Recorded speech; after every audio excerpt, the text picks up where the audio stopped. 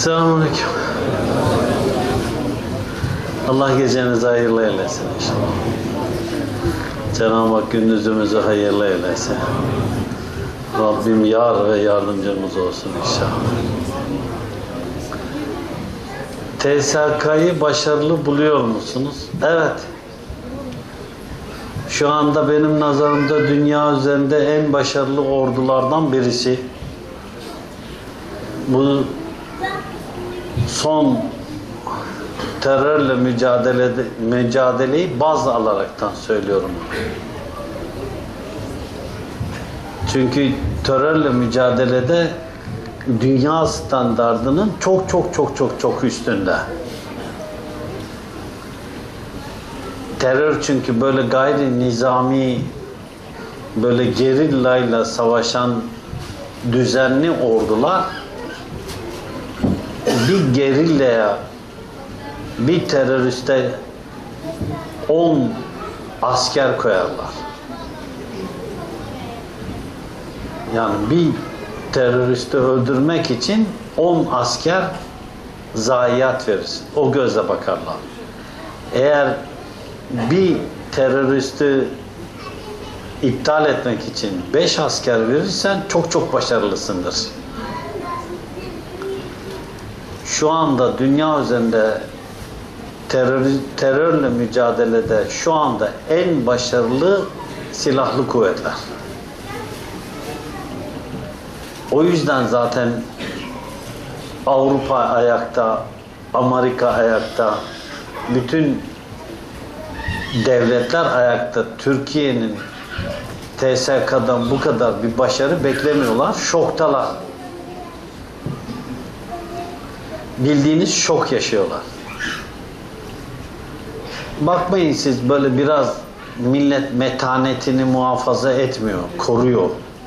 Biraz da muhafaza edemiyor, koruyamıyor. Biraz da böyle e, teröre karşı tepki oluşturmak için böyle işte şehit cenazelerinde böyle bağırıltı, çağrıltı, yırtınma bunlar dinen de caiz değil. Saçını başını yolma, böyle fazla feryat figan etme dinen caiz değil. Bunlar olmasa böyle çok sükunetli, vakarlı bir cenaze şehit cenaze törenleri uygulansa dağılır ortalık. Bu teröristlerin ekmeğine yağ sürüyor milletin bağırış çağırış feryat figan etmesi. Bir şekilde Türkiye düşmanlarını da sevindiriyor. O yüzden Türk Silahlı Kuvvetleri bu son dönem terörle mücadelede benim nazarımda çok başarılı. Çok çok başarılı. Sadece şey değil, askerler değil, polisler de çok başarılılar. Ben çok başarılı buluyorum. Hiçbir çatışmada, çatışma noktasında bir kayıp vermiyorlar. Dikkat ediyor musunuz? Kayıplar tuzaklarla. Tuzakla kayıp verdiler. Filanca yerdeki çatışmada 3 asker şehit oldu, 2 polis şehit oldu. Çok yok.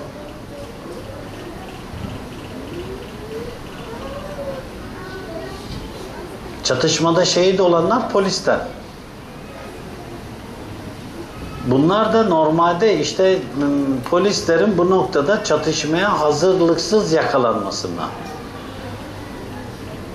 O polisleri de orada değiştirecekler. Eski neydi o ekibin adı? Özel harekatçıları orada koyacaklar şehrin içerisine. Görüldü ki o bölgede şehir içinde özel harekatçılar görev yapacak. Görüldü ki orada hazır kırmızı bereli, mavi bereli, yeşil bereli bir sürü bere rengi yapıp o berelileri oraya koyacaklar. Alternatifi yok. Dağlıca'daki şehitleri arada aracı koyularak alındığı söyleniyor. TSK bu kadar aciz mi? Bunların hepsi de algı operasyonu. Yok aracı konmuş da aracı konaraktan şehitler alınmış. Bunların hepsi de algı. Boş muhabbet bunlar. Bunlar insanların psikolojisini bozmak için psikolojik harp oyunları. Türkiye yerle bir eder adamı. 90'ların Türkiye'si yok. Öyle Avrupa'dan veya Amerika'dan veya İsrail'den sayılı bomba alacak. Onlar da eskimiş bomba. Attığında hiçbir işe yaramayacak. Attığından kalacak. Eskimiş silahlar, günün geçmiş silahlar onlar da alıp terörle mücadele yapacak. Adam füzeye atacak ama füzenin hiçbir tesiri olmayacak. Onlar bitti. Onlar bitti hepsi de. Geçti onlar. Şimdi attığını vuruyor, vurduğunu düşürüyor şimdi. Allah isabet ettirsin hepsine. Türkler ve Kürtler arasında çatışma çıkacağı ile ilgili söylemler var. Katılıyor musunuz? Ben katılmıyorum. Ama muhakkak Türkiye bu noktada Orta Doğu'nun en önemli bir ülkesi. O Orta Doğu'nun en önemli ülkesi Orta Doğu'da abilik elbisesi giymek için yürüyorsa o elbiseyi sana git oradan askıdan al giy dedirtmezler. Muhakkak uğraşırlar. İşin bir bu tarafı var. Ama şunu unutmayın.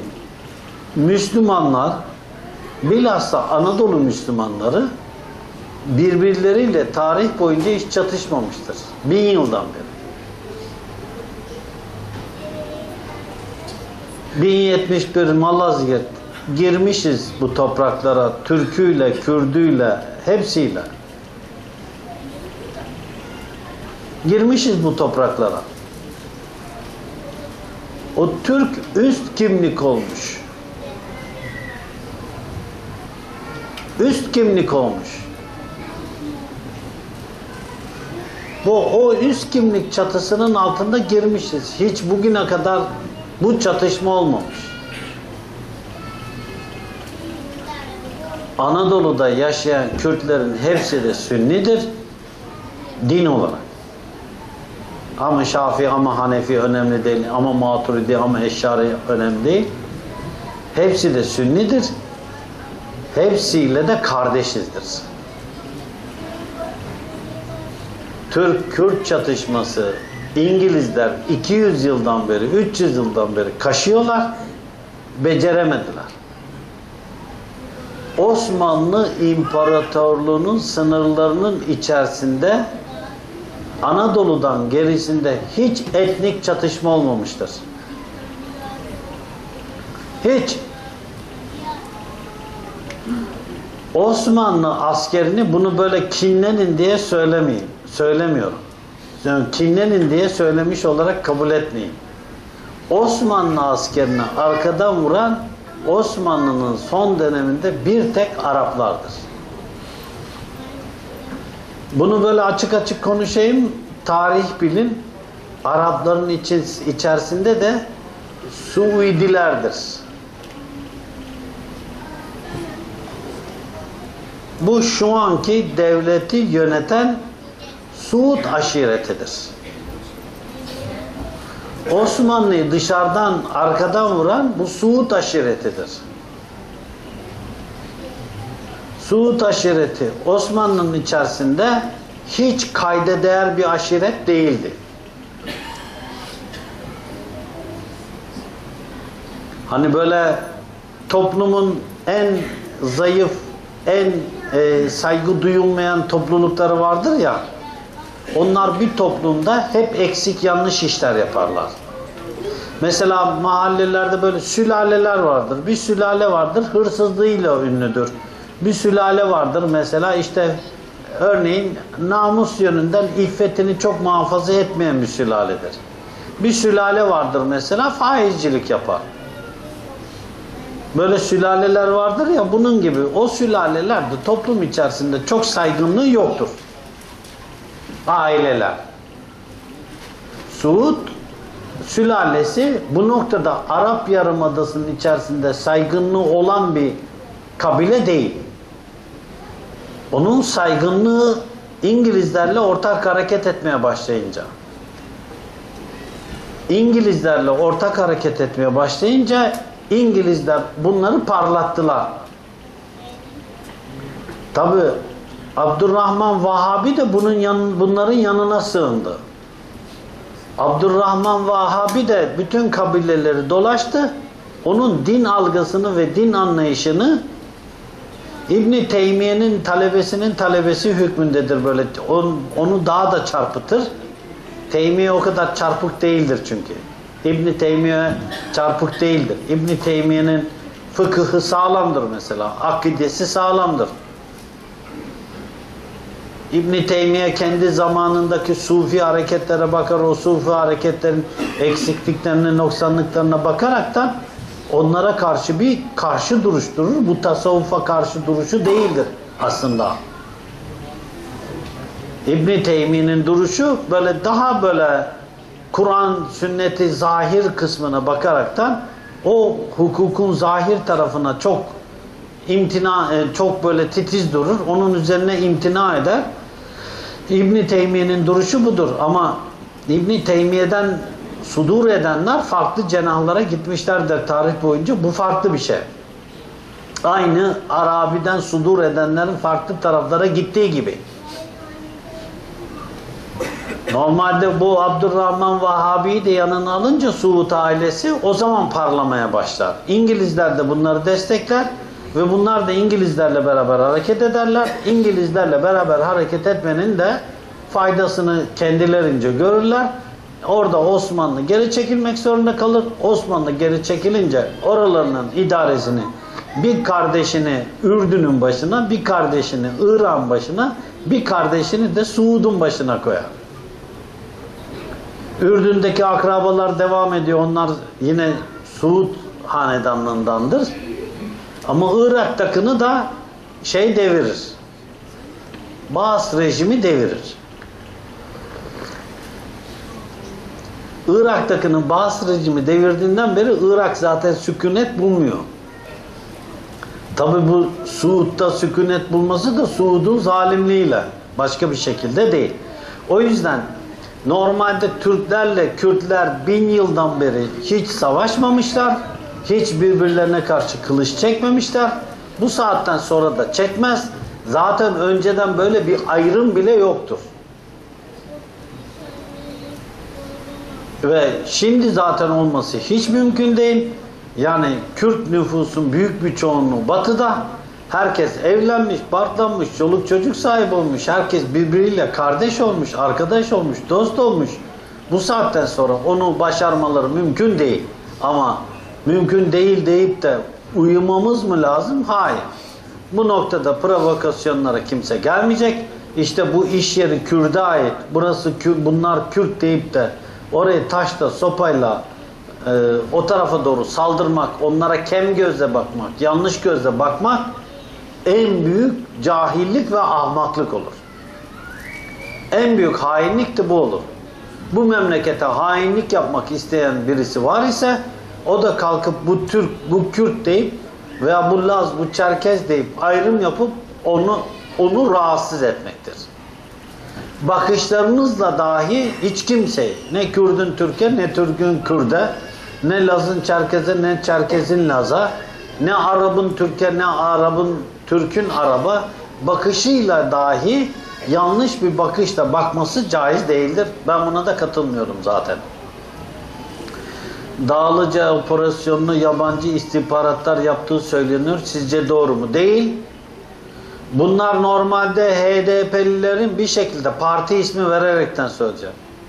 HDP'lilerin e, ciddi bir şekilde veyahut da HDP'yi parlatmak isteyenler, HDP'yi bizim gözümüzde masum bir hale getirmek isteyenler, dolayısıyla PKK'yı bizim gözümüzde masum hale getirmek isteyenlerin algı operasyonları. Yanlış.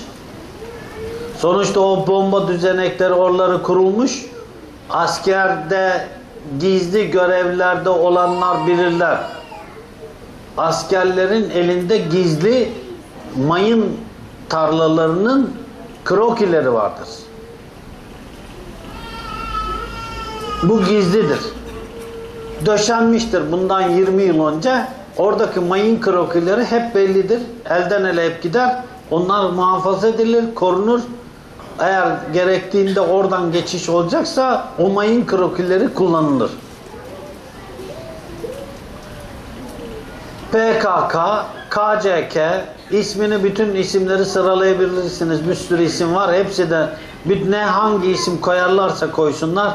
Sonuçta Türkiye Cumhuriyeti Devleti'nin askerine ve polisine karşı silah çekil, çekiliyorsa hepsi de teröristtir. Hiç ayrım yapmanıza gerek yok. İsimlerle, harflerle uğraşmayın. Hepsi de düzenlenmiş, tanzim olmuş şeyler.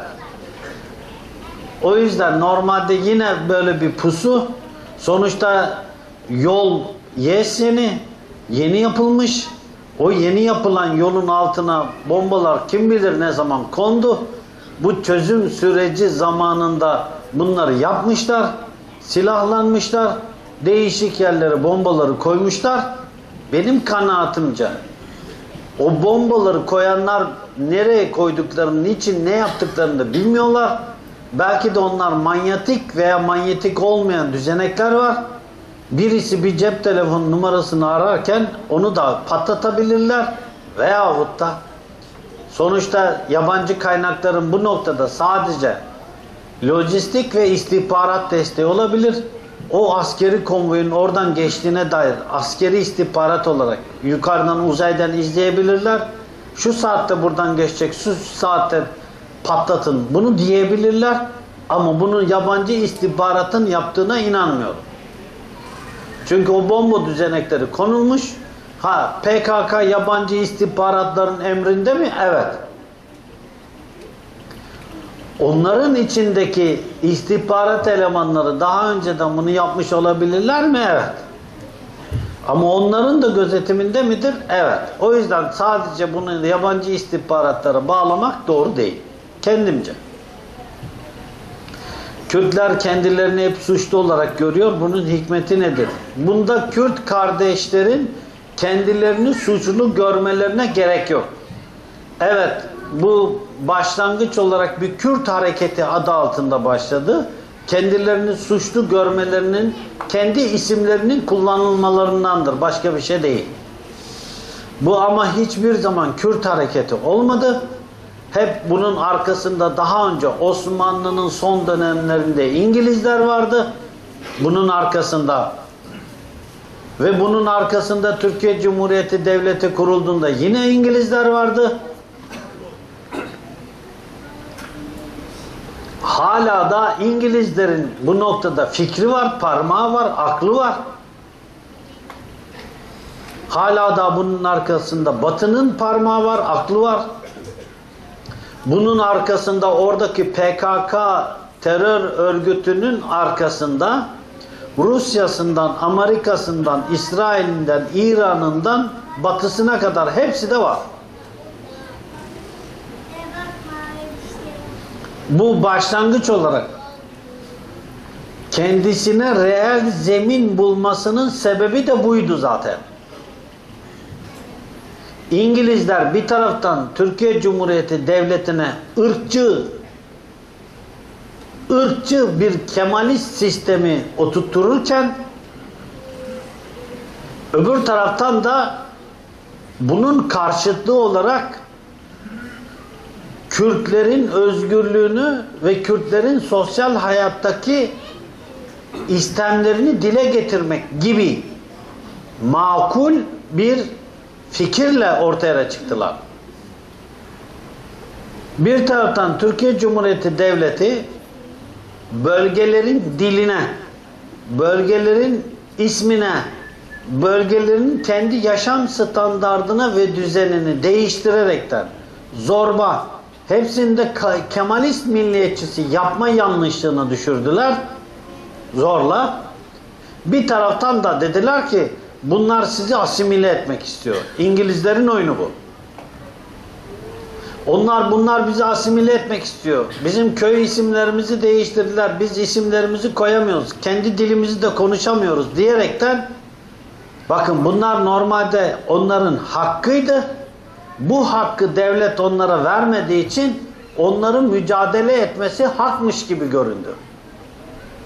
Eğer bu silahlı mücadeleye dönmemiş olsaydı bunda hiçbir sıkıntı yoktu. Ama şu anda silahlı mücadele edecek bu tip bu noktada bir haksızlık yok.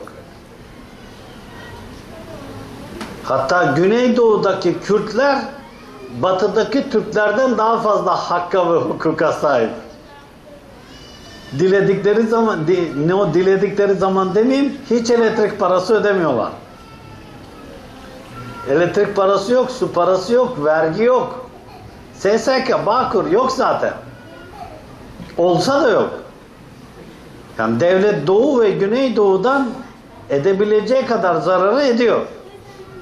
Artı bir de güvenlik zararları var. Artı bir de işte silah mühimmat gidiyor. Artı bir de şehitlerimiz var. Düşünün artık Güneydoğu'nun, Doğu'nun ve Güneydoğu'nun Türkiye'ye olan zararını. Zaten böyle bir zarar politikası güderekten buradakilere şunu diyorlar. Burayı ayırın, rahat edin.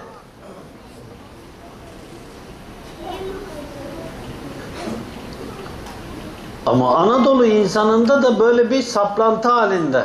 Ayrılmayız, bölmeyiz, daha fazlasını isteriz diyorlar. Haklı olarak.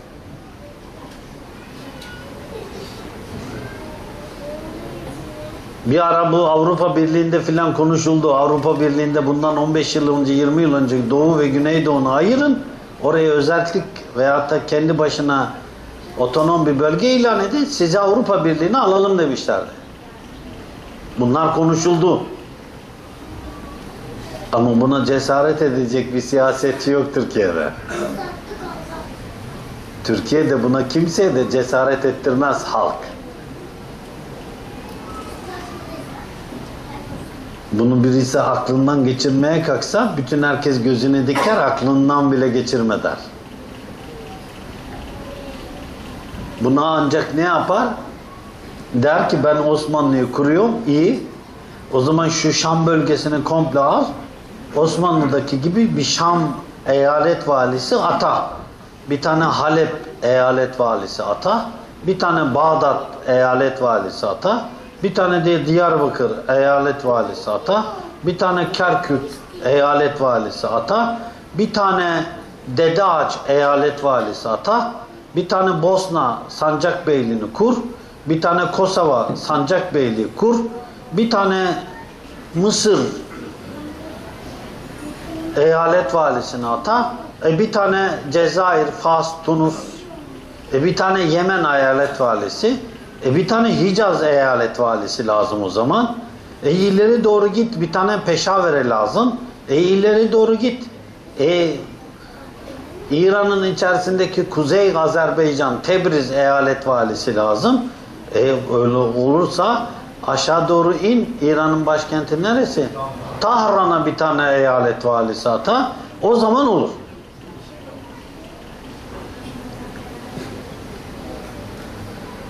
O zaman hepsi de iç işlerinde hür, dış işlerinde merkeze bağlı. Her biri eyalet valisi. Harika. Bu muhteşem bir senaryo zaten. Sizin bile gözlerinizin içi güldü. Hayali bile güzel. Öyle değil mi? Evet. Oradaki Kürt kardeşler kendilerince böyle bir özlem çekiyorlarsa hep beraber bir Mehdi ordusu kurup o Mehdi ordusuyla Osmanlı'nın ilk etapta sınırları nereden geri çekildik biz çünkü.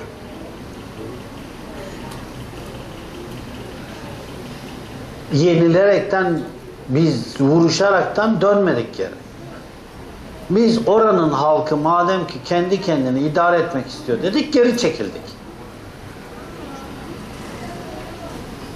Dikkat edin. Biz Kosova'dan geri çekildik. Biz Bosna'dan geri çekildik. Biz Sofya'dan geri çekildik. Biz Yemen'den geri çekildik. Geri çekildiğimiz yerlere teker teker gideriz o zaman hep beraber. Anadolu Müslümanlar olarak bir Mehdi ordusu kurulur. Bu Mehdi ordusuna bütün Türkiye'nin önderliğinde hatta Büyük Millet Meclisi'nin önderliğinde. Çünkü hilafet Büyük Millet Meclisi'nde Büyük Millet Meclisi hilafetliğini ilan eder. Hilafetini ilan ettikten sonra Büyük Mehdi ordusu kuruyorum der. Büyük bir Mehdi ordusu kurar. O Mehdi ordusuna bütün Müslümanlar gönüllü olaraktan gelirler, bağlanırlar. Aynı zamanda bağlanan bu askerlere bütün Müslümanlar kendilerince tasadduk ederler. Zekatlarından, sadakalarından dünyanın en güçlü ordusu olur. O zaman o orduya da Irak'a bir iltimatam verirsiniz. Derhal bize tabi ol. Mehdi ordusuna tabi olmazsan gelir seni tabi ederiz deriz. O zaman Irak gelir tabi olur. O da Mehdi ordusunun, Mehdi devletinin bir parçası olur. Ardından Suriye'si, ardından İran'ı, Yemen'i, Suud'u, Ürdün'ü, Kuveyt, Bahreyn o bölge komple gelir Mehdi ordusuna tabi olur. Ardından tabi bu orada durmaz. E bu oradaki yerler bize tabi olursa ondan sonra Batı emperyalistleri rahat durur mu? Durmaz. Ondan sonra da ne yaparlar? Gelirler savaş ilan ederler. Gelip savaş ilan edilince de Deccal bütün ordularını toplar.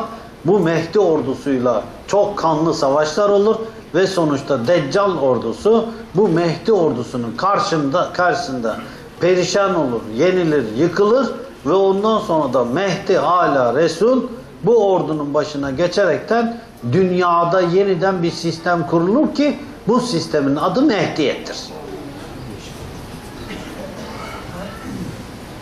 Bu bir rivayette 40 yıl, bir rivayette 7 yıl ama bazı şeylerde tam böyle geleceği kat'i inanılsın diye Hz. Resulullah sallallahu aleyhi ve sellem Hazretleri der ki bir gün dahi olsa Mehdi, benim soyumdan Mehdi gelecek, dünyaya hükmedecek der. Ama ben bunun 40 yıl olacağına inananlardanım. 40 yıl çünkü bir neslin ortasıdır. 30 yaşına gelen bir kimse 50 yaşında ölürse 20 yıl Mehdi ordusunu görür. İşte yeni doğan bir kimse de işte 20 yıl, 30 yıl, 40 yıl Mehdiyetin faziletini, lezzetini, İslam'ın hikmetini, lütfunu, ikramını, hidayetini ve dünyayı nasıl barışla yönettiğini görür ve böyle dünya cennet bahçelerinden bir bahçe olur. İnşallah. Bu olmadığı müddetçe bu olmadığı müddetçe Müslümanlar ne yazık ki kan ve gözyaşının içerisinde bocalanıp dururlar. Bugün PKK biter, KCK başlar, KCK biter, TTT başlar. İsim olarak ne koyarsanız koyun. Türkiye çünkü Mehdiyet'in zuhur edeceği yerdir. Türkiye Mehdiyet'in zuhur edeceği, doğumun olacağı yer olduğundan dolayı sıkıntısı da çoktur. Bu hilafet sonuçta Türkiye'dedir şu anda. Hilafet Türkiye'de olduğu müddetçe bu olacaktır. Bunun arkasında hilafet savaşları da var.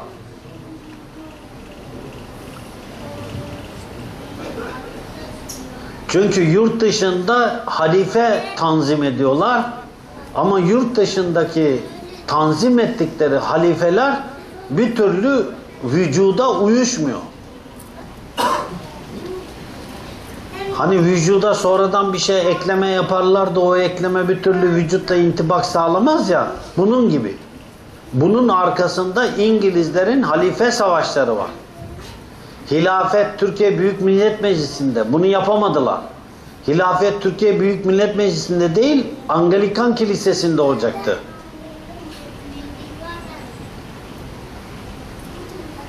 Hilafeti İngiltere'ye götürüp hilafeti normalde İngiltere merkezi yapacaklardı. Hala da büyük savaşın sebebi bu. Bir uyduruk dandik bir halife tayin edip onu İngiltere'de besleyip büyütüp İngiltere'de oturtturacaklar.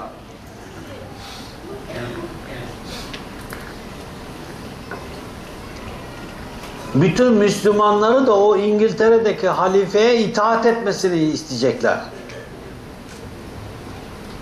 Bunu bunu destekleyen masonlar, bunu destekleyen İsrail, bunu destekleyen ABD, bunu destekleyen Almanya, Fransa, bunu destekleyen Rusya, Çin. Çünkü dünya deccal sistemiyle mücadele edecek olan dünya deccal sistemini kabul etmeyen bir tek inanış kaldı. O da İslam. Ve bir avuç Müslüman.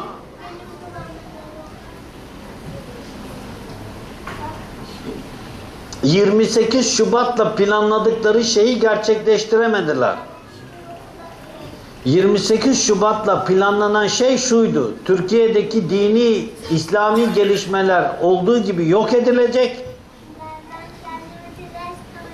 Ve bu olduğu gibi Türkiye'deki halkın içerisinden çıkmış, kendi inanışından çıkmış olan, a ister sufi ister siyasi olan bütün kanatlar tasfiye edilecek ve bir tek ortalıkta cemaat kalacaktı.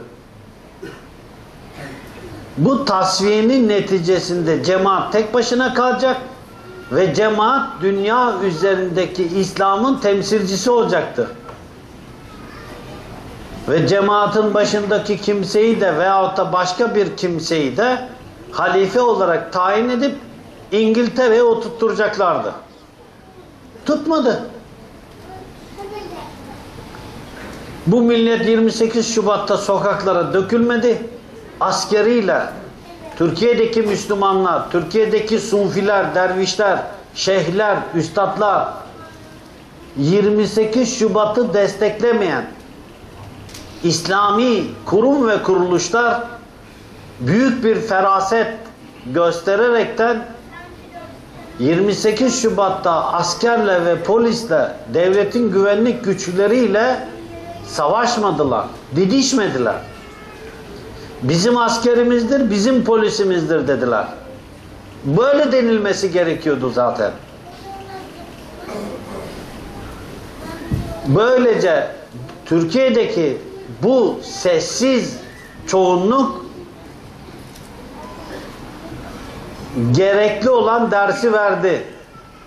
28 Şubat'ın siyasi kanadını, 28 Şubat'ın askeri kanadını, 28 Şubat'ın ekonomik kanadını, 28 Şubat'ın dini kanadını tasfiye etti. Şimdiki acı 28 Şubat'ın dini kanadını tasfiye ettiğinden acı çekiliyor.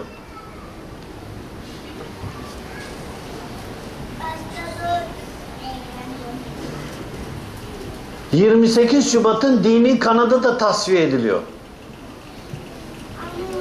Allah'ın izniyle 28 Şubatçıların ne dindar olanından ne dini kanadının ne siyasi ne ekonomik ne askeri kanattan hiç kimse kalmayacak. Tabi 28 Şubat'ın bir destekçisi de PKK'ydı.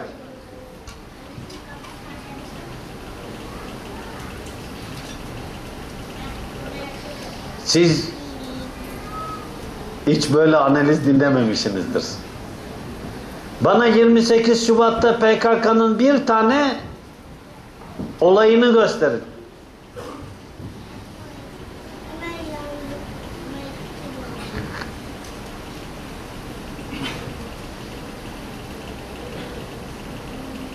Şimdi aynı 28 Şubat'ın 28 Şubat'ın şu anda dini ve terör destekçileri tasfiye olacak Türkiye'de. Bu Batı'nın istemediği bir şey.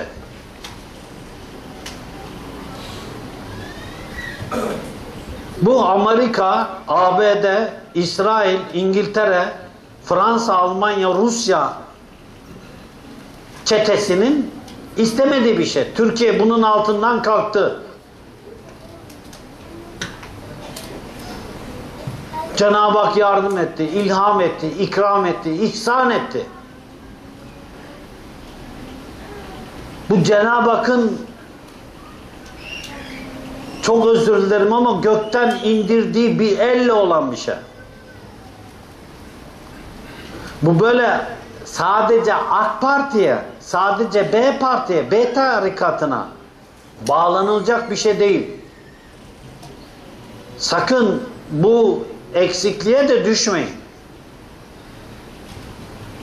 Bu Cenab-ı Hakk'ın bir lütfu ikramı bu 28 Şubat'a sabreden 28 Şubat mağdurlarının ahı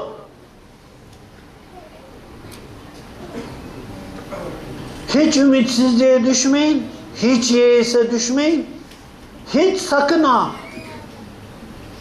böyle kendi kendinizi böyle ümitsizlik deryasına atmayın o kadar çok ümitliyim ki bugüne kadar olmadığımdan fazla ümitliyim. Bugüne kadar olmadığımdan fazla güvenliyim, fazla eminim. Bugüne kadar olmadığından daha iyiye gittiğimize inanıyorum. Hiç hiç. Burada düşen vazife biz asla kardeşlik hukukumuzu bozmayacağız. Millet olarak. Biz devletimizin arkasında duracağız. Millet olarak. Devletimizin yanlışlıkları, eksiklikleri vardır. Bürokratların da, siyasetçilerin de, hepsinin de yanlışlıkları, eksiklikleri vardır. Devletin işlemesinde yanlışlık, eksiklik çoktur. Ama bunun çözümü silah değildir. Devlet vazifesini yapmıştır. Çözüm süreci içerisinde barışı denemiştir. Tam çıplaklığıyla. Tam bir saflığıyla. Evet.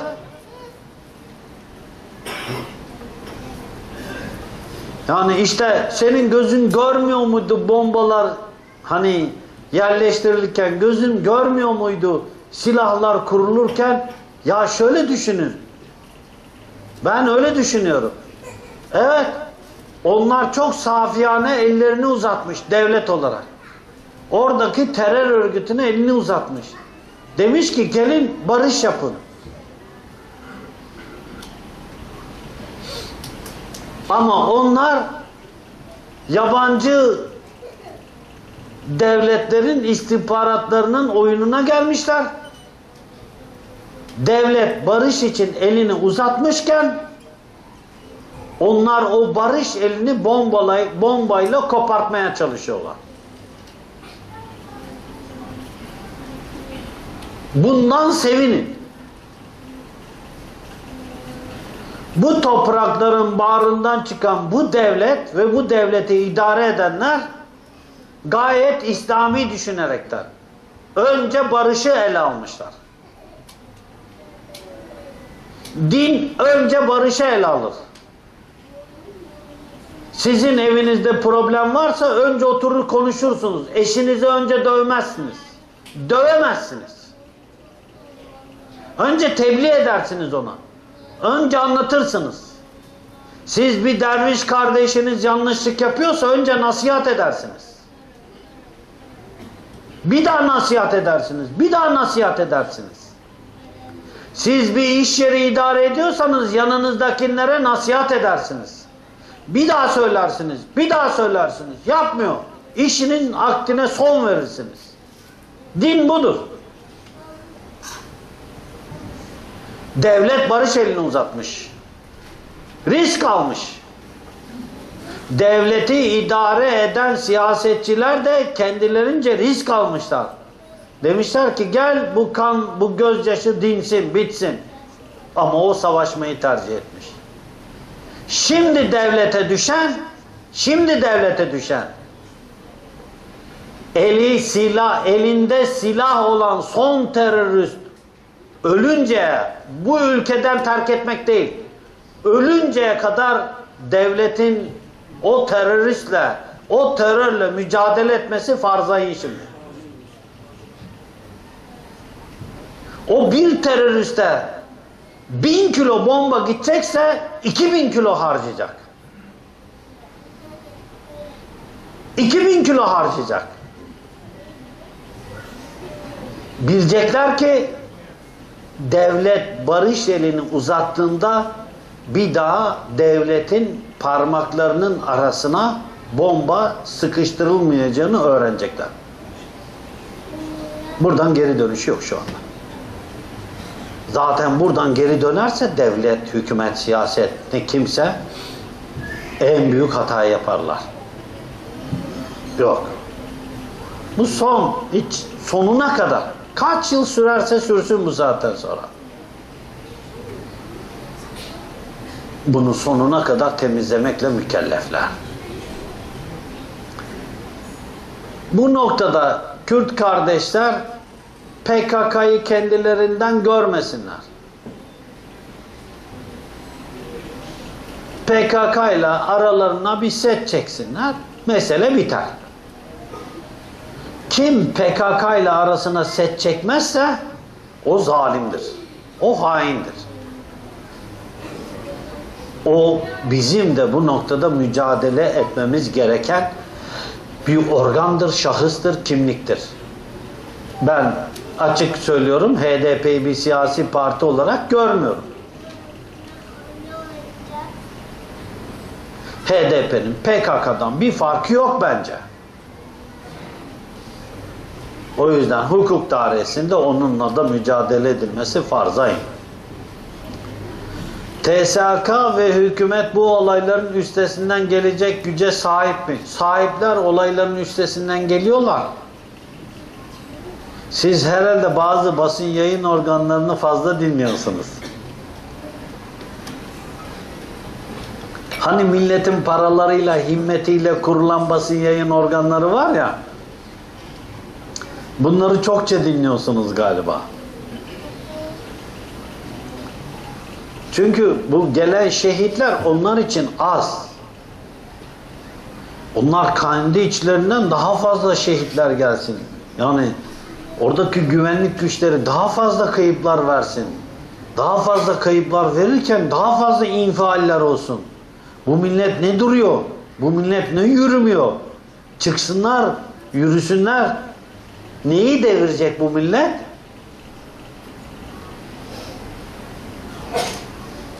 Kendi devletini mi devirecek? Bunlar böyle hain. Bu millet yürüyecek neyi devirecek? Söyleyin bana.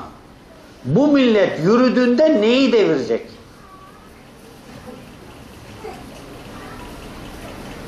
Yürüyecek neyi devirecek bu millet? Bana birisi bunu açıklasın.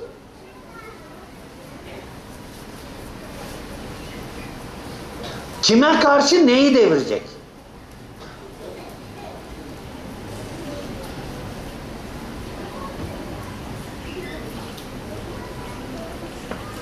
Bu milleti yürüyün, devirin derken neyi yürü, neye yürüyecek, neyi devirecek bu millet?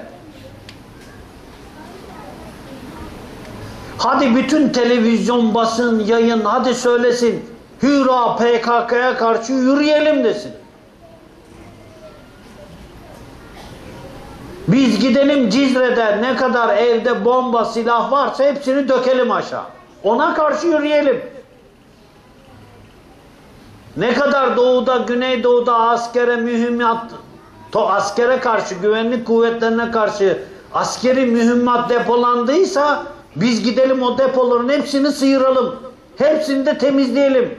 Ne kadar terör örgütü ve terörist var ise hepsini de temizleyelim, yürüyelim. Yürüyen, yürünecekse eğer oraya yürünmesi lazım.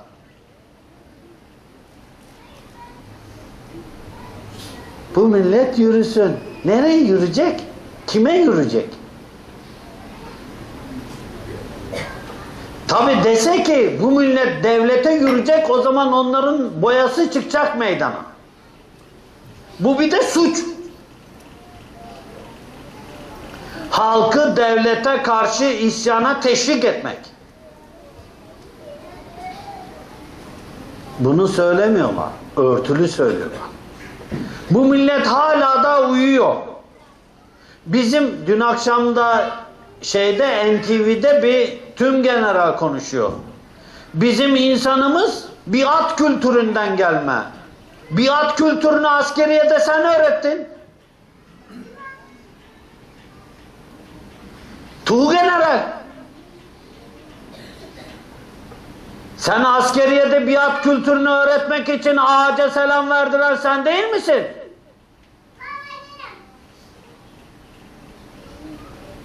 Biz biat kültürünü askeriyede öğrendik. Şimdi bundan mı rahatsız oldun? Bu millet kafası çalışmayan salak, aptal biat kültürümüş. Sufilerde yok.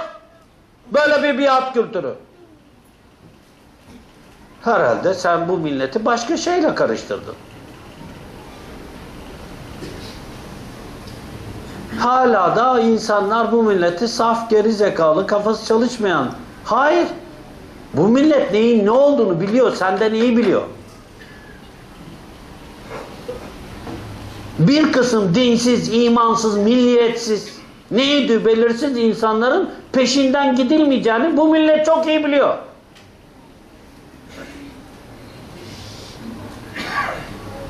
Onların peşinden gidersen entelektüelsin. Biat kültüründen kurtuldun. Niye biat ettin? Şeytana. Sizi gidi şeytan biatçıları sizi. Şeytana biat edersen biat kültürün yok. Neden? Şeytana biat ettin çünkü. Allah'a biat edersen tu kakasın. Evet. Milleti galayana getiriyorlar. Yürüyün. Nereye yürüyeceğiz? Hedef söyle bize yürüyelim hadi. Arkasındaki oyunu görüyor musunuz?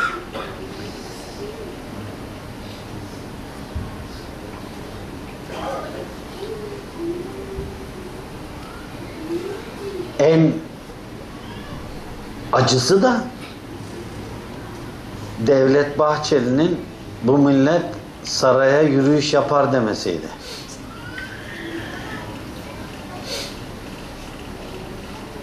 Hoş geldin 23 Nisan. Görüyor musunuz nasıl anarşiyi, nasıl terörü ince ince milletin damarlarına enjekte ediyorlar. Tabi din, din olarak da birisi fetva veriyor. Firavun, Yezid, Nemrut adına ne gelirse. Hazreti Ali Efendimizin de küfrüne fetva vermişlerdi. Hazreti Ali Efendimiz de mücadele edenler, savaşanlar Hazreti Ali Efendimizin küfrüne fetva verdiler. Hariciler, hariciciler dediler ki kafir Hazreti Ali radıyallahu anh hazretleri. Haşa. Biz dediler onunla savaşmayı kendimize farz kıldık. Ve Hazreti Ali radıyallahu anh hazretlerini şehit eden harici. Hazreti Ali radıyallahu anh hazretlerini şehit eden harici.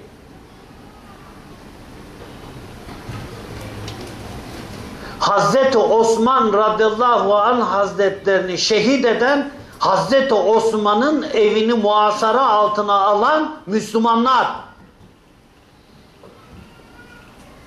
Onlar da yönetimden memnun olmuyoruz, memnun değiliz deyip değişik valiliklerden, değişik eyaletlerden gelip Medine-i Münevvere'de 6000 kişilik orduyla 6000 kişilik 6000 kişi. 6000 kişi. Gezici onlar da işte. Çapulcular geldiler Hazreti Osman radıyallahu anh hazretlerini Kur'an-ı Kerim okurken şehit ettiler ve o çapulcuların gözetimini yapan Muaviye'nin 3000 kişilik Medine'nin dışında duran ordusuydu. Tam teçhizatlı. Halife, halife, halife, Hazreti Osman-ı Zunnureyn, Hazreti Peygamber sallallahu aleyhi ve sellem hazretlerinin melekler onları görün, onu görünce edeplerinden ne yapacaklarını şaşırıyorlar deyip bacaklarını örttü Hazreti Osman.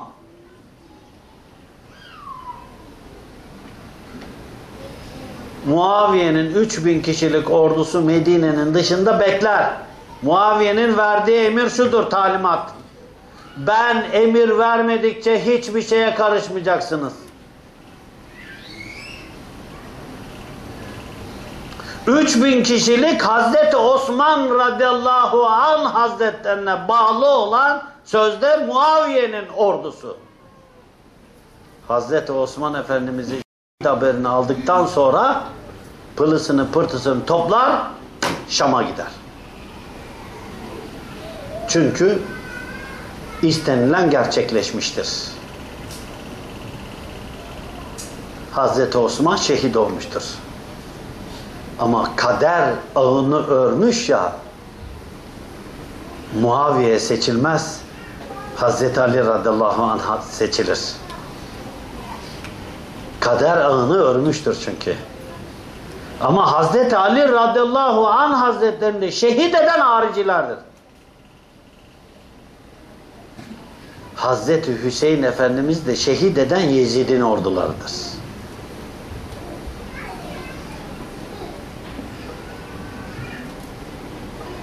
Tarih tekerrür ediyor. Birileri de bize diyor ki yürüyün. Nereye yürüyeceğiz? Kime yürüyeceğiz?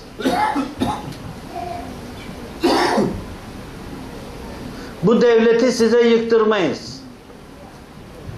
Bu ülkeyi de size parçalatmayız.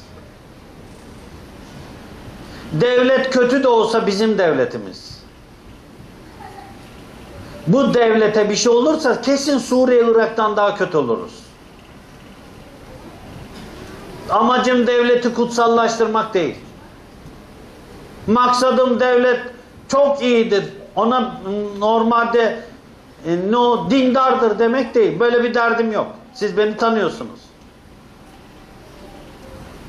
Ama bu devleti yıkmaya çalışırsa birileri bu sufiler ona karşı çıkar. Bu vatanı bölmeye kalkarsa birileri bu sufiler buna karşı çıkar. Buna tahammülümüz yok. O yüzden devlet de, hükümet de, bugünkü hükümet de, gelecek hükümet de bu olayların üstesinden gelecek. Biz de bu devletin arkasında saf tutacağız. Evet. Biz günlük siyasetle işimiz yok. Biz partici purtici değiliz. Öyle aranızda da parti kavgasının olmasını istemem. Asla. Hiç kimse bir partinin savunuculuğunu yapmasın burada. Böyle bir derdimiz yok. Bizim siyasetimiz Kur'an, sünnet, vatan, millet. Oy zamanı gidip nereye oyunuzu verecekseniz verin. Bizi ilgilendirmez. Beni ilgilendirmez. Dergahın yönetiminde olan kimseler de ders yaptıran kimseler siyaset olarak, parti siyaset olarak nötr olacaklar. Bunun altını çizeyim. Kadın erkek bir yerde ders yaptırıyorsa parti siyasetine girmeyecek, nötr olacak. Parti siyasetine girecekse bir kimse gelecek helallığını alacak. Ben X partide siyaset yapmak istiyorum diyecek. Müsaade edersek gidecek. Bu parti siyaseti de dergahımızda yasak. Kimse birbirine partisi için bir laf söylemez. Bizde AKP'li, AKP'lisi de var, MHP'lisi de var. CHP'lisi az ama var. HDP'li yok bildiğim kadarıyla. Var mı içimizde HDP'li? Linç etmeyeceğiz merak etmeyin. En güvenli, en emin yer burası. Ciddiyim bu konuda. Burada bir kardeşimiz HDP'liyim de dese emindir. PKK'lıyım da dese emindir. DHKB'ciliyim de dese emindir burası. Burada hiç kimse ona yan gözle bakmayacağını ben taahhüt ederim. Onun her türlü güvenliğini sağlamayı da Allah'ın izniyle taahhüt ederim. Allah'ı zikredilen meclisler emin meclislerdir. Kimsenin burada siyaseti, ırkı, rengi hiç kimseyi bu noktada ilgilendirmez bu dairede. Allah muhafaza eylesin.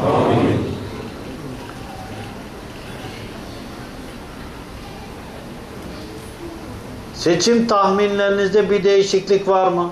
Yok.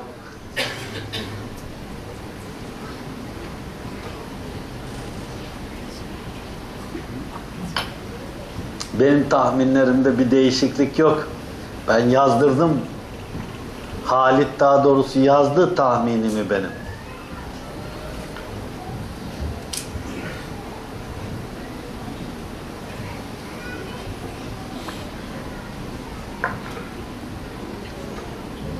Bir tahminim var. Yeni tahminim. Bu önümüzdeki seçimlerde büyük bir ihtimalle bir parti referandum milletvekilini tutturabilir.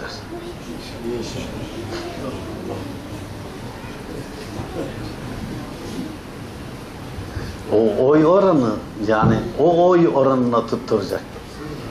Tamam. İnşallah. Zikir mi üstündür yoksa insan mı insanı üstün kılan zikir midir?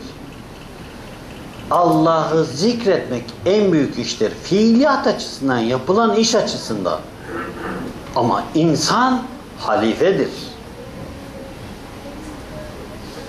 Zikir insanı daha da yüceleştiren bir fiiliyattır. Dolar tahmininiz nedir?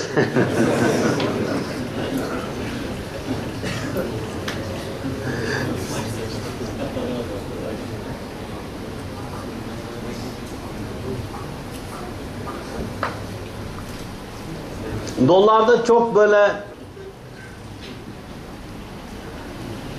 absürt, dikine yukarı giden hareketler beklemiyorum.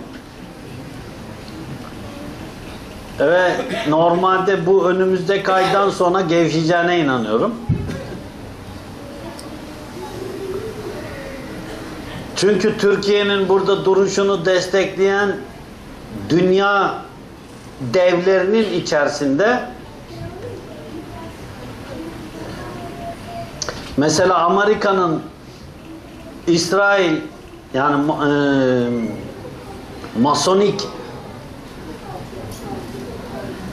kolu ile tarafı ile paracı, finansçı tarafı Türkiye'nin aleyhine çalışıyor. Ama Amerikan devleti devlet olarak Türkiye'nin lehine çalışıyor. İngiltere, Fransa, Almanya Türkiye'nin aleyhine çalışıyor. Bunlar finansçıdır hepsi de. Rusya birinci derecede kendi e, haklarını, kendi konumunu güçlendirirken ikinci derecede Türkiye'yi kolluyor. Putin bir koluyla diyor ki benim Suriye'de ve Irak'ta emellerim var. Bunlara sen karışma. Bunlara karışmadığın müddetçe fazla da yükselmediğin müddetçe ben sana sıkıntı yapmam diyor. Ama bir taraftan da Türkiye böyle fazla adımlar atınca Türkiye'nin göğsüne de bir el koyuyor. O yüzden Türkiye ne tarafta ne taraf Türkiye'de ne galip gelirse Türkiye'de iki savaş var. Bir finansçılar, iki devletçiler. Finansçılar kendilerini belli ettiler. Diyorlar ki bir devlet bu kadar milliyetçi olmamalı. Bir hükümet de bu kadar milliyetçi olmamalı. Siz zalimsiniz. Siz Yezid'siniz. Siz Firavunsunuz. E siz çekilin kenara. Kim gelecek? Kimi istiyorlar? Tayyip Erdoğan'ın yerine Türkiye'de kimi istiyorlar? Yok. Tayyip Erdoğan'ın yerine. Kemal Derviş'i getiremeyeceklerini biliyorlar. Abdullah Gül'ü istiyorlar değil mi? En son çalıştığı kuruma bakın.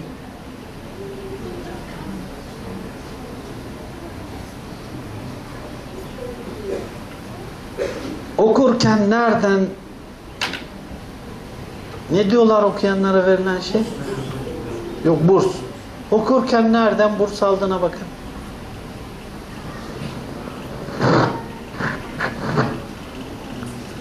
Finansçıların medya ayağı kimdir Türkiye'de? Doğan'dır. Öyle değil mi? Size bir tüyo vereyim. Doğan grubunun sevdiğini sevme, sevmediğini sev, doğru yolu bulursun.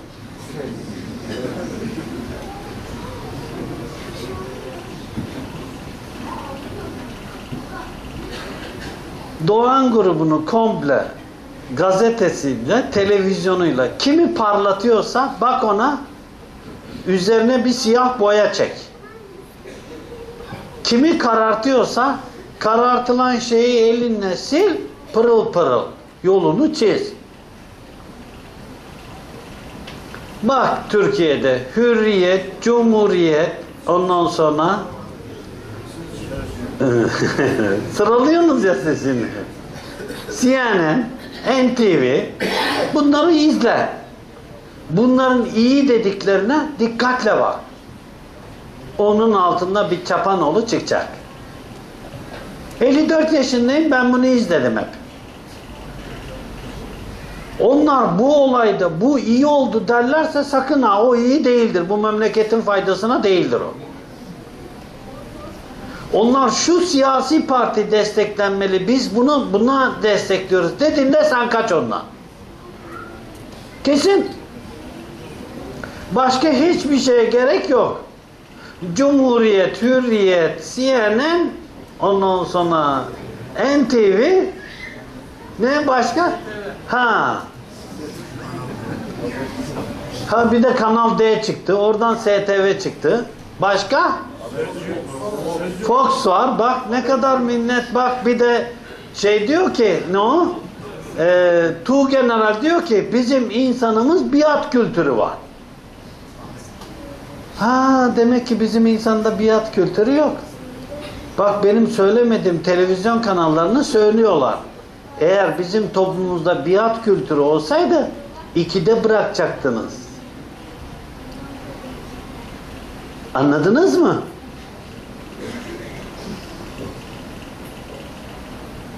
Arttırıyorsunuz bak açık artırma gibi. Demek ki sizin de bir analiziniz var. Harika.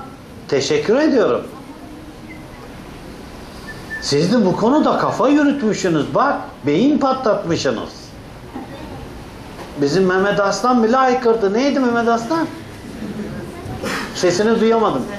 Ha, az önce bir gazete ismi söyledin. E, sesini duyamadım. Ay, sen de mi korktun paralelden yoksa?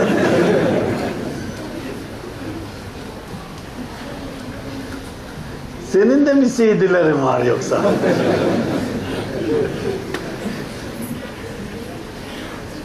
Aklıma geldi bu ses e, yan tarafa gitmiyormuş. Şikayet ediyorlar ona göre. Nasıl o m, sesim yan tarafa gitmiyormuş. Hep bunu bana birkaç seferdir söylüyorlar sohbetlerde. Onun ayarı farklıysa onun sesi oranın sesini yükselt olmazsa. AKP tek başına iktidara gelemez ise Türkiye'de kaos, kriz olacağı söyleniyor. Katılıyor musunuz? Hiç katılmıyorum. Bir daha seçim yaptırır.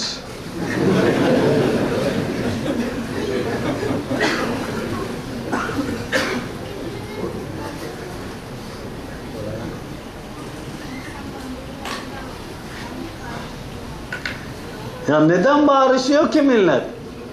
Ya Süleyman Demirel darbe yaptırdı bu ülkede. Kimse bağırışmadı. Süleyman Demirel mevcut seçilmiş. Seçilmiş hükümeti yerle bir etti. Gitti 10 tane milletvekili olan bir adama görev verdi.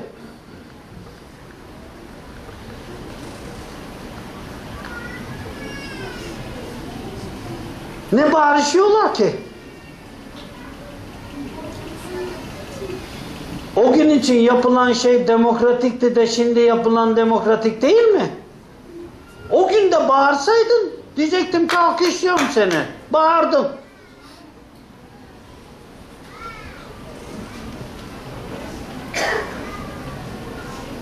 Yani şu anda Cumhurbaşkanı'nın yaptığı şey anayasa kurallarının içerisinde. Ne bağırıyorsunuz? Bu milletin yüzde elli ikisi oy vermiş, Cumhurbaşkanı seçmiş. Öyle gizli kapaklı perdenin arkasında milletvekillerini tehdit ederekten, paralar vererekten, bilmem neler olaraktan, bir sürü gaydırı kupaklar dönerekten meclisten seçilmiş bir cumhurbaşkanı değil. E ben onu da gördüm Süleyman Demirel'de.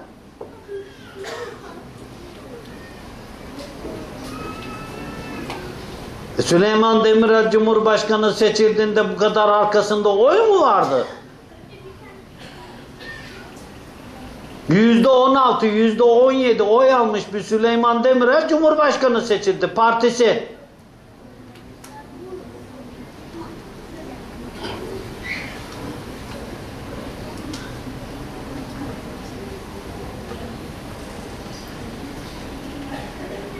Refah Partisi'nin normalde hükümetteyken darbe yaparken Refah Partisi ondan fazla oy oranıyla hükümete gelmişti.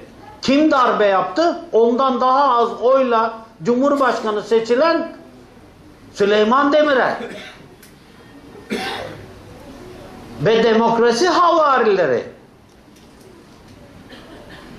Ve kendini bu noktada çok bilgi görenler. Süleyman Demirel'e o zaman için ne savaşmadınız? Sizi gidi satılmış mason kafalılar sizi. İyi kötü. Ben oy filan vermedim. Beni ilgilendirmiyor. Ama ben memleketimi düşünüyorum. Yüzde 52 oy almış gelmiş Cumhurbaşkanı seçilmiş.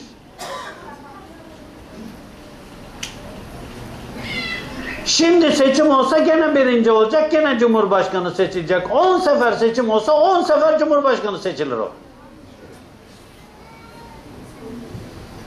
20 sefer seçim olsa bu ülkede 20 sefer bu adam Cumhurbaşkanı olur. Evet. Sev sevme.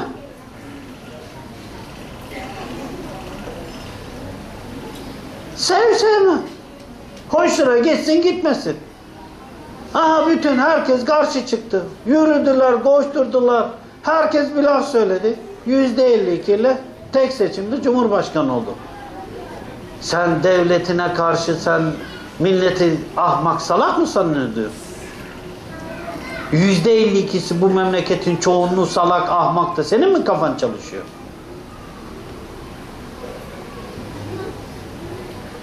AKP tek başına iktidar gelmezse gene aynı olursa gene hükümeti kuramazlar. Bir daha seçim olur. Ne olmuş? Seçimden korkuyorsunuz mu? Anayasa bu. Bize çok böyle methedip, yağlayıp, pullayıp, allayıp, süsleyip, önümüze koyup demokrasi dedikleri şey bu. Bu. E, e şimdi Tiyansın mı diyeceksiniz? Ey Türk milleti e, e ne oldu? E bunu bize en güzel sistem diye sen koydun önüme. Ben demokrat değilim. Demokrasiyi de beğenen değilim. Ben demokrat de, demokrasiye de bu mevcut demokrasiye de karşı bir insanım. Benim işim değil. Ama sistem bu. Çarpık, düzgün. Sen bunu düzgün bir sistem diye önümüze koydun. Seçimle gelecek, seçimle gidecek dedim. İyi. Farklı bir şey mi söyledik biz de? Ben böyle söyleyince sen Tayyipçisin diyorlar. Ha, ne yapayım? Seçimi de mi istemeyeyim diyorum ben. Ha, seçim seçim diye tutturan sizsiniz. Seçimle bu memleket idare edilecek diyen de sizsiniz. E en tek başına iktidar çıkmazsa ne olur? Bir daha seçim olur. Yine çıkmazsa gene seçim olur. Yine çıkmadı. E gene seçim olacak. E gene olmadı. E ne olacak? Bir daha seçim olacak. Ya kurduğunuz sistem bu. Kurduğunuz sistem bu. Hiç kimse sistem yanlış demiyor. Sistem yanlış. Neden? Ya yanlış.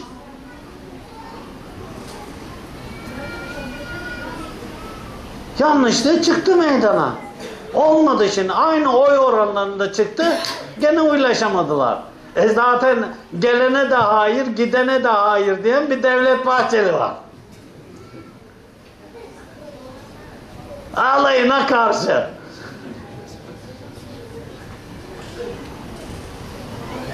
Tamam. E ne yapacaklar? O zaman MHP'ye operasyon yapacaklar. Devlet Bahçeli'ye indirecekler.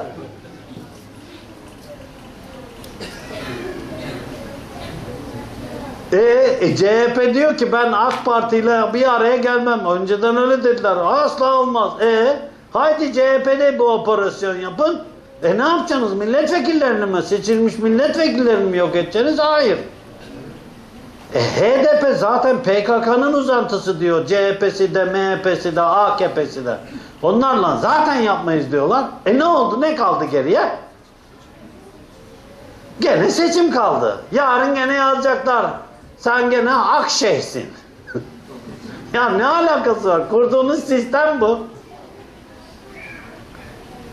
Ben o yüzden başkanlık sistemi olsun dedim. Bir sefer seçim olacak.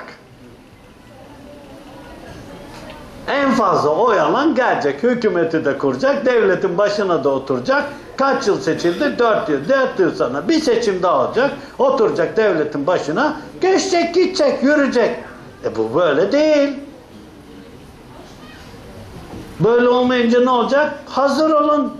Eğer böyle giderse böyle giderse her sene seçim var ülkede. Deliye her gün bayram. E o da yüzde 52 ile gelmiş cumhurbaşkanı olmuş. O da kaptırır mı? Kaptırmaz.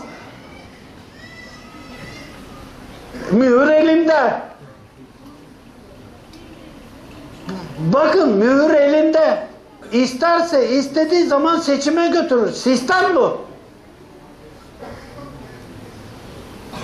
Diyor ki Cumhurbaşkanı gerekli gördüğünde ülkeyi seçime götürür istediği zaman. Adam sabahleyin kalktı gerekli gördüm ülkeyi seçime götürüyorum dedi. Ne yapacaklar? Daha önce yaptıkları gibi yapacaklar. Gidecekler Cevdet Sunay mıydı neydi deli raporu almışlardı iş görmez raporu. Tabi. Geçmiş gün şimdi hatırlamıyorum da yani 300 kusur tane doktor raporuna imza attı adamın iş görmez raporu verdiler.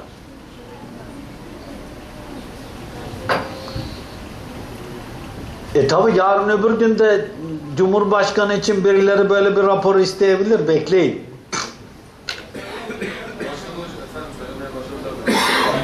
Öyle mi? Tamam. Çünkü cifirciler boyuna okuyorlar aklı dengesini kaybetsin diye. Onlar kendi okuduklarına inanıyorlar ya.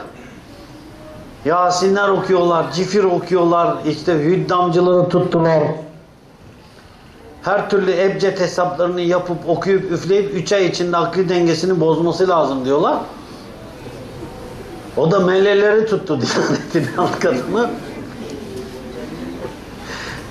Meleler cifirciler okuyor, cifirciler onları okuyor. Savaş tüm gücüyle metafizik alemde devam ediyor. Ve inanıyorlar diyorlar 3 ay sonra akli dengesini yitirecek. Hemen rapor aldırırız. Deviririz aşağı. E bu millet de derse deliyse bizim delimiz kardeşim. Biz onu istiyoruz tekrar. Haydi bir daha sinema çıkacak. Ne yapacaksınız? Bu millet diyecek deli meli bizim kardeşim. Biz bir tek tekrar istiyoruz. Bir daha aday yaptık dese ne yapacaksınız? Türkiye burası. Kurulan sistem bu. İngiliz, İngiliz gelmiş öyle bir sistem kurmuş bize. Bunlar işin içinden çıkamasınlar hiç demiş. Biz işin içinden çıkamıyoruz bir türlü. Ne tarafını tutsak elimizde kalıyor. Amaçları da bu zaten. Ama hiç böyle yani Müslümanların Türkiye'de böyle İslami böyle duyarlılığı olanların kuvvetleneceğini hesaplamadılar hiç.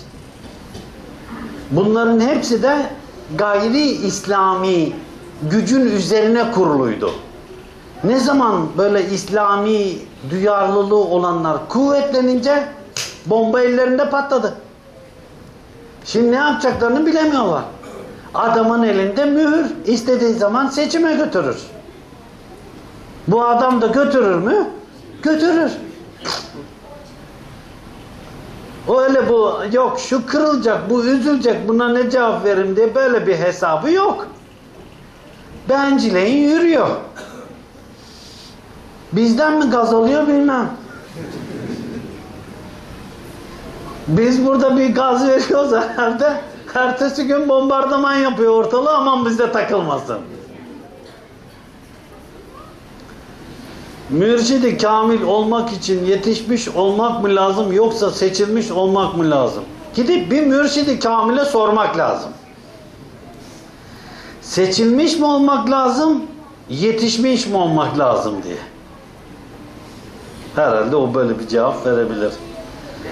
Bu bayağı sorulara takıldık kaldık. Bu sene hangi hacca niyet edeceğiz? Kardeşler ben genelde ifrada niyet ediyorum. Allah rahmet eylesin şeyhim bana ifrat haccını niyet ettirdiydi. Ben kendimce orada kalıyorum işte. Biat kültürümüz var ya bizde. O yüzden Allah izin verirse bir değişiklik olmazsa ben yine hacı ifrada niyet edeceğim. Kardeşler bu noktada serbestler. İnşallah Allah şimdiden haçlarını makbul eylesin. Allah izin verirse pazar gün saat 2'de mi çıkılıyor? Nerede? Var mı? Cafer burada mı? Geldi mi? Cafer 2'deydi değil mi? Cumartesiyi pazara bağlayan gece saat 2'de Haşim İşcan Caddesi'nden otobüs kalkacak. Gidecek olanlara duyurulur.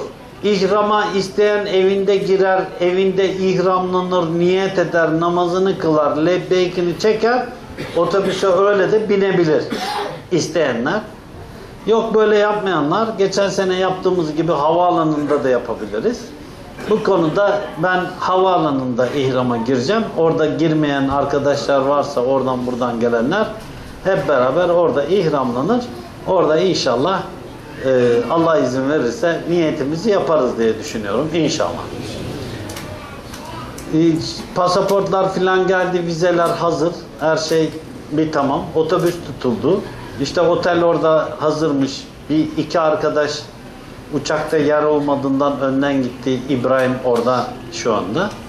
Normalde herhalde otel geçen seneki yerden daha yakın bir yer demiş. Ne bölgesi diyorlardı? Şey geldi mi? Demirci geldi mi? Meapta bölgesindeymiş otel. O zaten o bölgeyi bize bizim hmm, şey Bünyamin de söylüyordu. Meapta bölgesinde olsa otel iyi olur filan diye. Orası geliş gidişi daha yakınmış. Daha kolay olduğu söyleniyordu. Geçen sene de öyle söylüyorlardı. O yüzden o Meapta bölgesinden kaç dedi şey 1500 metre mi 2500 metre mi işte 10 dakika mı 15 dakika ne? 2000 metre. Evet düz bir yolmuş evet. 20 dakikada mı gidilip geliyor? Orta halli 20 2000 metredeymiş. O yüzden efendim iyiymiş otelin durumu. Öyle söylüyorlar. İnşallah yolculuğumuz böyle başlayacak. Ee, zannediyorum 29'uydu değil mi? 29'unda dönüş varmış inşallah. Allah giden kardeşleri inşallah yardım etsin. Dua edin inşallah. Cenab-ı Hak sağ salim gidip gelmeyi nasip eylesin. Tabi hac önemli bir ibadet. İnşallah gitmeyen kardeşlere de Cenab-ı Hak nasip etsin. E, bu Türkiye'de mevcut Diyanetle hani kurayla gidilirse bu sene 8 sene önce yazılanları götürüyor bildiğim kadarıyla. 8 sene bekleyecek insanlar. E, bizimki de işçi vizesiyle onu da söyleyelim. O yüzden işçi vizesiyle gideceğiz inşallah. Allah'tan bir şey gelmezse. Saat doğru mu? Fa'lemennehu la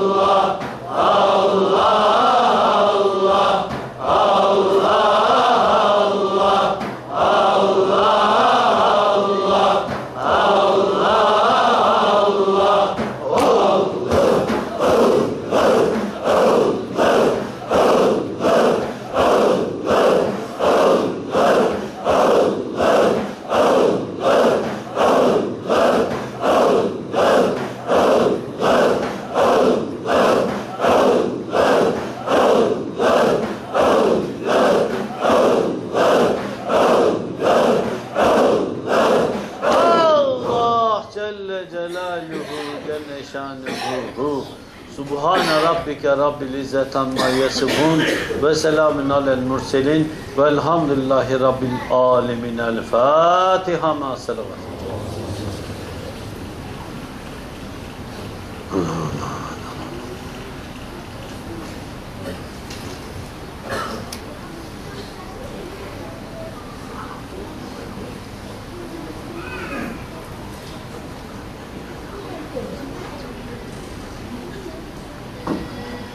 Amin.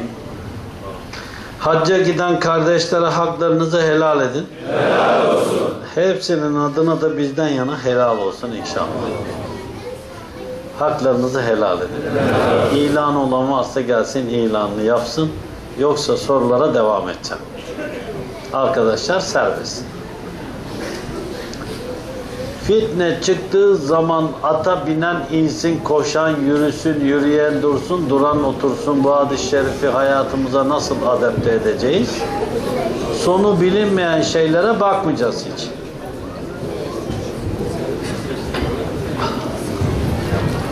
Bu yoğunlaşmak, onun üzerinde yoğunlaşıyorsun. Bu meseleyi nasıl hallederim diye yoğunlaştığında Cenab-ı Hak sana farklı bir pencere daha lütfediyor. Yolumuzda mücahede edenlere yollarımızı açarız.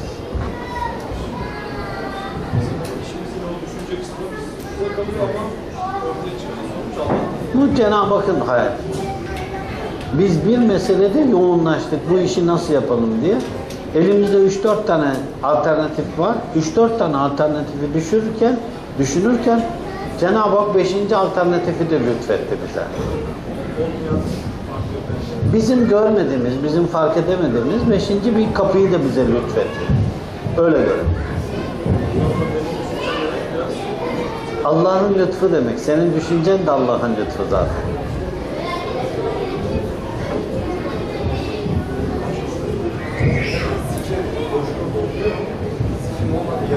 Hevanın karşılığı zikirdir zaten.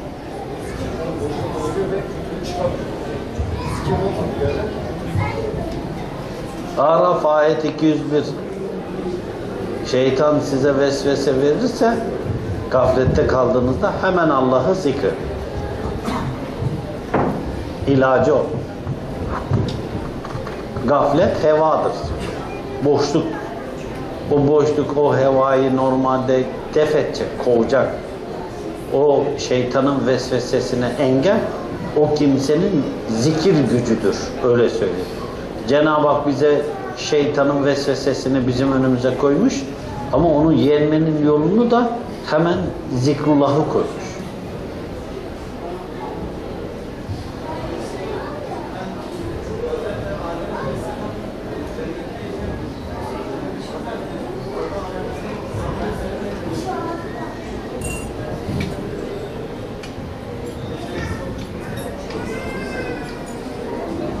Sormak lazım gene.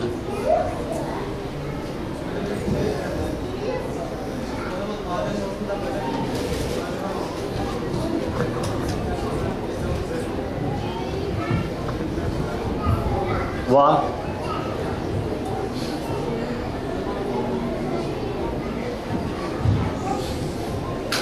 Sen zikrullah halakasına oturdun da zanna düşersen, hevaya düşersen halakada, halak, zikrullah halakasından ayrıldığın an zanna düşüp cennet bahçesinden çıktığın andır. Burada cennet bahçesinden çıkan öbür tarafta cennete mi gideceğini düşünecek? Buradaki cennet halakasından bir zan kurban olup gitmemeye bak.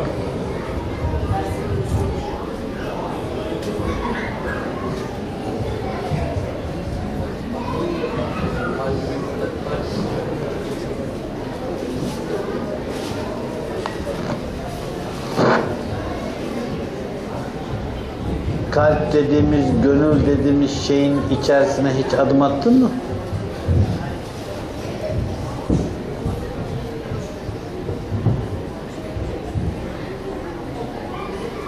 Hiç birini sevdip, sevip sabaha kadar ağladın oldu mu?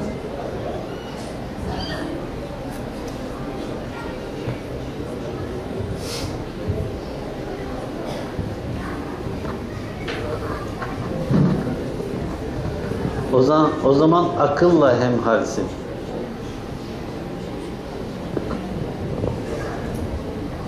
Hiçbirini sevip yemek yemeyi unutup uykuyu unuttuğun zaman oldu mu? Birini sevdiğinden dolayı gideceğin yeri unutup sevdiğinin kapısının önünde durduğunu o esnada kendine geldiğini hiç gördün mü?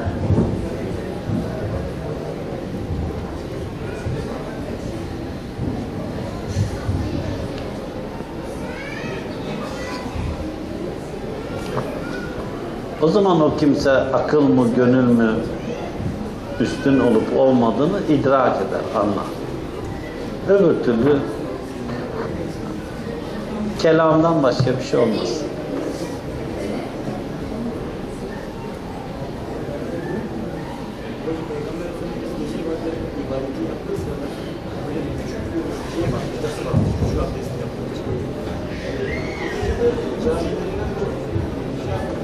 Peygamber Efendimiz'den gece namazı kıldığı zaman e, bunu içiyor. İçiyor. Peygamber Efendimiz de diyor ki ne yaptın? İçti. Peygamber Efendimiz cevap veriyor. İyi bir iş yaptın, canlı bir iş yaptın diyor. Geçen okumuştum, bir de biraz kafamda takıldı. Peygamber Efendimiz'in bir hadisi var. Ümmetine küçük abdest suyu kan içmek Hazreti Peygamber sallallahu aleyhi ve sellem Hazretlerinin her şeyi nurdu.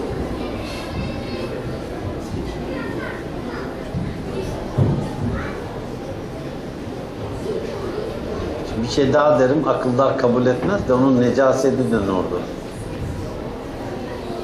Aynı şekilde kan, kan mevzusu da var mı? Hacıma da diyor, sabit, sabit. Onun her şeyi nurdu.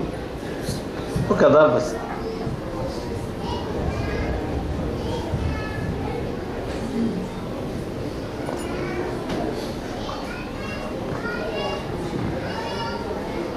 Hakkınızı helal edin. Selamun Aleyküm.